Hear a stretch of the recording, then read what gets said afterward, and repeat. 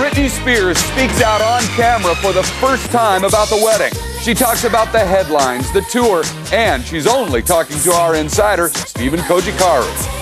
Hello. Well, with the entourage. Everything good? Yeah, everything's fine. I love this. And all this stuff. This is beautiful. You are so sweet. Hi. Hi. The most important question. Did you miss me? But can't you see? Britney, Britney, Britney. Yes, you invited me to the Markus Klinko and Indrani studio to watch you strike some publicity poses. And yes, we'll chat about your new tour. But Britney, you ripped your jacket off because you knew I was gonna turn up the heat. So here we go. So it's coming. We're going to do the marriage question now. Okay. Let's breathe. Let's breathe through this. Okay. And it's not going to be that bad. But here we go. Um, you said it was a joke and that it was Vegas and you got carried away. I get carried away in Vegas. But what were you thinking? What was your headspace? Honestly, I really wanted to see what it was like to be married. Maybe that sounds silly, but in in that moment, I was just um, I was with a friend and I, that I love dearly, and I wanted to do something wild and crazy, and um, I wanted to get married. So that's why I did it.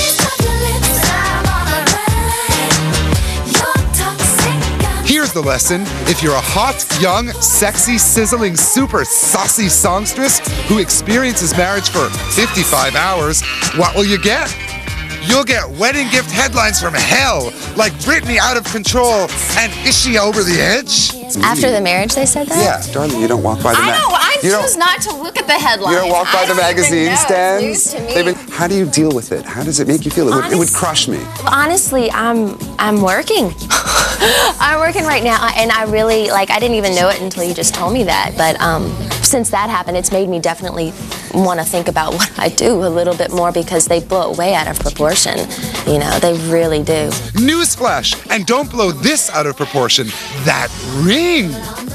She bought it for herself, Kay? Did you know that fame would be this rough? And was and is it worth it? Um, you know what? I don't think it's rough. Actually, I think Intense? it's it's intense. I don't. I think rough is a harsh word. So who is the real Britney?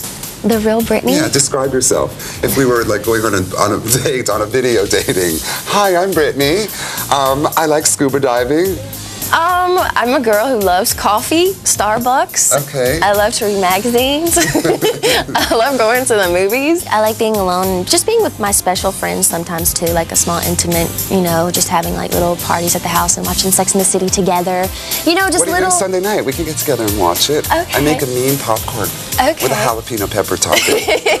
Because this is big news that you're going on tour. Yes. Um, nobody's sure of the name. It's is it in the Zone or Onyx Hotel? It's called the Onyx Hotel. I have some other suggestions. I like kind of Britney is on fire, the tour. Oh, Or don't mess with Britney. what do you think? I like that.